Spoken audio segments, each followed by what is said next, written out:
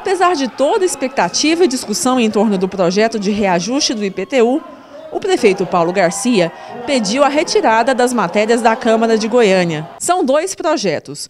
Um deles prevê o IPTU progressivo em razão do valor do imóvel para 2018. O segundo projeto reajusta a planta de valores imobiliários em 39,8% para 2015 e 39,8% também para 2016. Quem pediu a retirada em nome do prefeito foi a vereadora Célia Valadão, líder de Paulo Garcia na Câmara.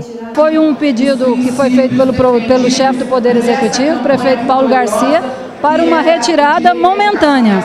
O prazo para devolução, eh, não, ele não me informou, mas assim que me informar, eu estarei também informando essa casa. Será para que seja feita uma avaliação técnica diante da nova proposta de, uma, de, um, de um índice que foi reduzido para 39,8%, para que seja feita justamente essa avaliação com planilhas ah, apresentadas e anexadas ao projeto também. Então, o que nós temos agora é que aguardar um pouquinho, ver o que será debatido e apreciado através dessa avaliação técnica e nós aqui estaremos, mais uma vez, abrindo o diálogo, a votação, para que cada vereador faça o seu papel de acordo com a sua consciência.